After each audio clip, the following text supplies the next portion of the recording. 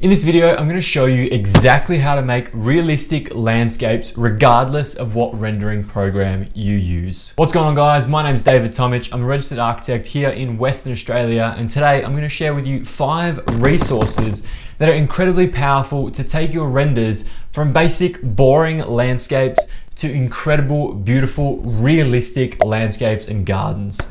So let's get started with number one, which is one of my personal favorites. It is called globeplants.com. Now, if you jump on globeplants.com, you're gonna find a variety of incredible plants, which are also specifically tailored to different climate zones and regions around the world. One of the best things about Globe Plants is they actually have Australian native plants in there to select from, as well as a series of different tropical plants, including high poly and low polygon counts. Next on the list is maxtree.org. Maxtree has over 100 resources that you can download at varying prices. So definitely isn't the cheapest. It definitely isn't free for everything on Maxtree. It starts anywhere from that low two digits all the way up to the high three digits. So it is a relatively expensive resource on this list, but it has some incredibly unique plants and trees available on Maxtree. Powering through this list today, evermotion.org is number three, not in any particular order, but it is also an incredible resource. Not only do you have your standard trees and plants, you also get shrubs and grass in Evermotion.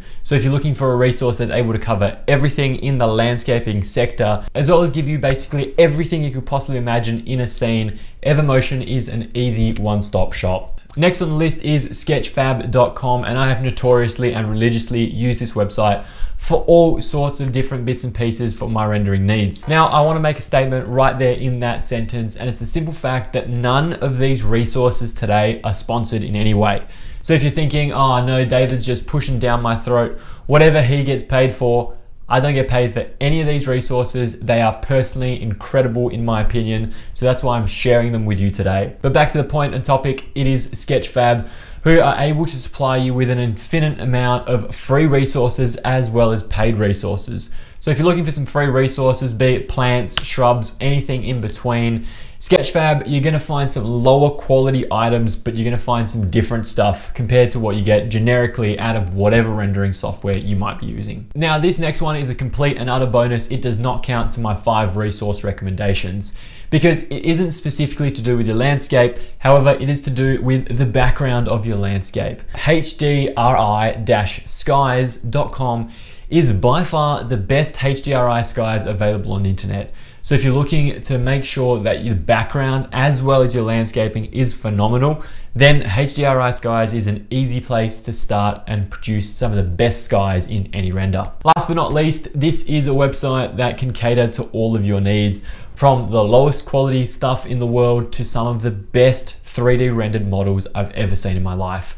Genuinely, 3dsky.org is the place to find whatever you are looking for. 3D Sky not only has plants and trees and everything in between, it has some of the best rendered materials. So if you're looking for a brand new Tesla Model 3, you can find it on 3D Sky, either paid or free. If you're looking for a Porsche to add into your renders like you've seen in many of mine, 3D Sky is exactly where it comes from whatever it might be that you're looking for for any category, that is the resource that you should be writing down right now, saving to your favorites, and going back to every single day. And that's it from me, guys. Thank you so much for watching. I'll see you next time.